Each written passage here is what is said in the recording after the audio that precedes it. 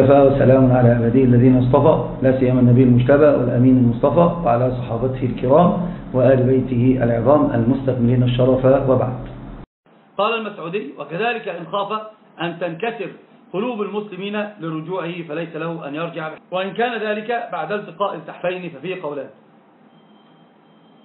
الحق في هذا الباب بأنه إن أذن له فبعدما وصل لا ما تخاف يا محمود ما تخاف. هم لا يعكرون صفي. لأن أنا جربت هؤلاء. كنت مسجونا ومع هؤلاء. أيضا أذبت لهم عندهم, عندهم مرض نفسي عندهم مرض نفسي. وسافرت مع واحد ساعتين وبعدما بينت له الحجج الباطلة التي يتمسك بها قام قال لي ما أريد أشوف مثلك مرة ثانية. في هذا المكان. هو المشكلة أنا أريد, أنا أريد هدايته وأريد أن أخذ بيده, بيده لنصرة الدين حقا. وهو ما يريد هو يريد نصرة الدين على هواه. على ما يريد هو فقط. ولذلك أطلق يطلق على طول. يعني علماءنا يقولون تعرف المعتزلي أنه يطلق على أهل السنة والجماعة الألقاب. كما فعل الأشاعرة والمعتزلة أنهم حشوية وأنهم مجسمة. وهذا قيل في ابن تيمية. قيل في ابن تيمية هذا الكلام. وهذا كلام ليس بالهين كلام فيه شدة وحدة على ابن تيمية نفسه. فهم أصلا عندهم بعض المرض النفسي. فاهم كيف؟ فهم لا يعقلون صفي بحال من الأحوال لأن أنا خلاص جربت هؤلاء وعلمت ما فيهم. يعني حتى بعضهم كان سألني قلت أنتم المشكلة في مرض نفسي عندكم. هو الذي يؤثر على الأحكام عندكم. فما فعل؟ وفي مرض نفسي ماذا تفعل؟ لا يمكن أن ترى بعد ذلك خيرا. أرادوا الدين حقا لكن بهواهم والدين لا ينتصر إلا بوفق ما جاء به الشرع. لا يمكن. الدين لا يمكن أن ينتصر إلا بوفق ما جاء به الشرع. طيب. بيقول هنا إذا كان بعد التقاء التحفين يعني التقى الصفان والوالد بعدما أذن قال لا آذن لك ارجع. ارجع. فهل له أن يرجع أم لا؟ بعد التقاء الصفين إحنا قلنا بأنه ينقلب فرض الكفاية فرض عين إذا التقى الصفان. في وجهان عندنا في المذهب أحدهما ليس له أن يرجع لقوله تعالى ومن يوليهم يومئذ دبره إلا متحرفا لقتال أو متحرزا إلى فئة. ليس بمتحرف لقتال ولا متحيز إلى فئة. ولأن رجوعه في هذه الحالة ربما كان سببا لهزيمة المسلمين فلم يكن له ذلك. والثاني يجب عليه الرجوع.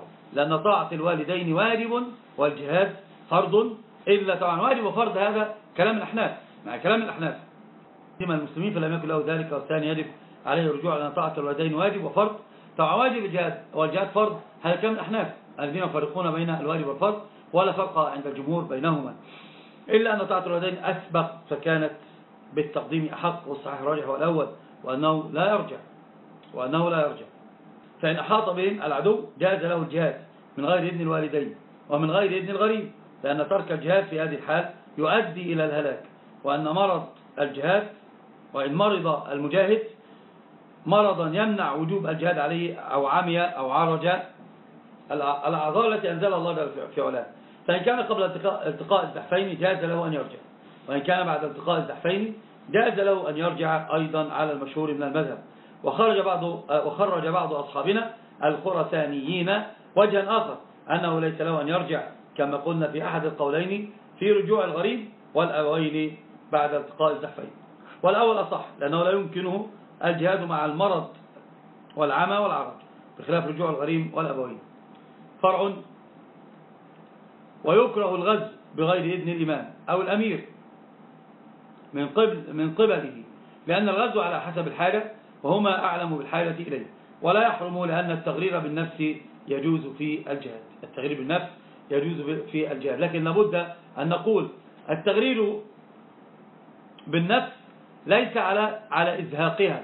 التغرير في النفس يجوز وليس يعني ليس على إزهاقها ولكن كما قلنا تحمل المخاطر دون اليقين من إزهاق النفس. هذا الأصل. مسألة قال الشافعي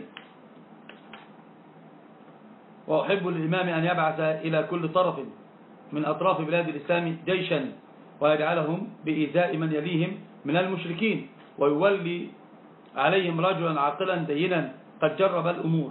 لأنه إذا لم يفعل ذلك فلربما خرج عسكر المشركين وأضروا من يليهم إلى أن يجتمع عسكر من المسلمين. هكذا حكى شيخ أبو حامد وذكر شيخ أبو إسحاق أنه يجب على الإمام أن يشحن ما يلي الكفار بجيوش يكفون من يليهم وإن احتيج إلى حفر خندق أو بناء حصن وأمكن الإمام ذلك واستحب له أن يفعله لأن النبي صلى الله عليه وسلم حفر الخندق حول المدينة. ولأن المشركين ربما أغاروا على المسلمين على غفلة أو أو بيتوهم ليلا فإن لم يكن هناك خندق ولا حصن. يعني كان نكلوا بهم. وابتدأ أو يبتدئ الإمام بقتال, بقتال من يليه من الكفار. أصالة لأن النبي صلى الله عليه وسلم قال أمرت أن أقاتل الناس حتى يقولوا لا إله إلا الله. قاتلوا المشركين كافة. فتوحات الإسلام لابد أن تكون عند وجود القوة والقدرة على ذلك. بقوله تعالى يا أيها الذين أمنوا قاتلوا الذين يلونكم من الكفار. ولأن ذلك أخف مؤنة إلا أن يكون أبعد منهم قوم من المشركين فيهم قوة وإن غفل عن قتالهم اشتدت شوكتهم وخيف منهم فحينئذ يبتدئ بقتالهم لأنه موضع ضرورة. جهة غزا في العام القابل جهة أخرى ليعمهم بالنكاية إلا أن يكون في جهة من الجهات عدو شديد فيجوز له أن يقصده في كل عام ليكسر قلوبهم. فإذا أراد الإمام أن, أن يغزو المشركين فإنه يغزو بكل قوم إلى من يليهم من الكفار. ولا ينقل أهل جهة إلى جهة أخرى لأنهم بقتال بقتال من يليهم أكبر ولأنه أخف مؤنة إلا أن يكون العدو في جهة من الجهات كبيرا شديد الشوكة وليس بإيذائهم من المسلمين.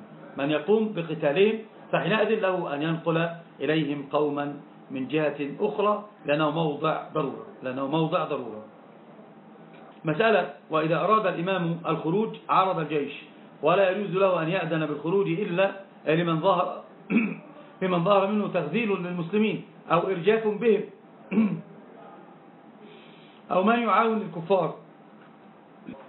فالمخذل وهو أن يقول بالمشركين كثرة بالمشركين كثرة وخيولهم جياد وسلاحهم جيد ولا طاقة لنا بهم لأنه يجبن الناس إذا سمعوا ذلك.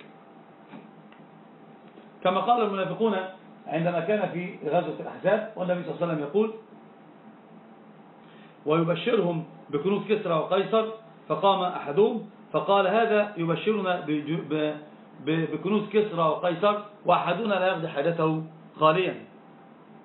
والإرجاف أن يقول وراء المشركين مدد ونصرة ووراءهم كمين ويخوف المسلمين منهم والعون أن ينقل أخبار المسلمين يكون عينا يجس على المسلمين. أن ينقل أخبار المسلمين إلى المشركين. ويوقفهم على عوراتهم وضعفهم. لقوله تعالى وقيل قعدوا مع القائدين. لو خرجوا فيكم ما زادوكم إلا خبالة وأوضعوا خلالكم يبغونكم الفتنة وفيكم سماعون لهم. يعني ينشرون الخلاف بينكم. نعم. فإن قيل فقد كان النبي صلى الله عليه وسلم يخرج معه عبد الله بن أبي بن سلول وهو رأس المنافقين وكان مخزلا فالجواب كان أصحاب النبي صلى الله عليه وسلم في كثرة وكانوا من البر والتقوى بمكان لا يلتفتون إلى تخذيره بخلاف غير النبي ولأن الله تعالى كان يخضع النبي صلى الله عليه وسلم على كيد المنافقين وتخذيرهم فلا يستضر به بخلاف غيره. نقف عند هذه المسألة والاستعانة بالمشركين لا تجوز. فلا يجوز له أن يستعين بالكفار على قتال الكفار من غير ضرورة. ولأن عائشة رضي الله عنها وارضاها أن النبي صلى الله عليه وسلم لما جاء الرجل أراد أن يقاتل معه قال لا أستعين برجل مشرك. ارجع. فرده ثلاثا حتى أسلم الرجل. وإن دعت إلى ذلك حاجة بأن يكون في المسلمين قلة. وما استعين به من الكفار يعلم منه حسن نية في المسلمين. جاز. لأن النبي استعان بصفوان بن أمية وهو مشرك على قتال هوازن واستعار منه آه، آه، آه، العتاد. نعم. ولأنه كان حسن القول في المسلمين. بعض العلماء اشترط أيضا وقول رده النبي صلى الله عليه وسلم ثلاثا. قال لا أستعين برجل مشرك. كما قلنا إذا دعت الضرورة بعض العلماء قال أولا أن يكون حسن القول في المسلمين يكون تحت راية أهل الإسلام ولا يكون فيه قوة لا ينفرد بقرار بل يرجع أمره إلى إلى المسلمين وأن يكون في المسلمين قوة لتنحيته إن أرادوا إلى ذلك. هذا كله شروط وقيود للاستعانة بالمشرك وإلا فالأصل حرمة الاستعانة بالمشركين ولو على المشركين. فكيف يكون الاستعانة بالمشركين على المسلمين؟ هي لا تجوز بحال من الأحوال. نقف عند هذه المسألة ولو في أسئلة. تفضلوا. سبحانك اللهم ربنا وبحمدك أشهد أن لا إله إلا أنت أستغفرك وأتوب إليك. إن الله وملائكته 哎呦。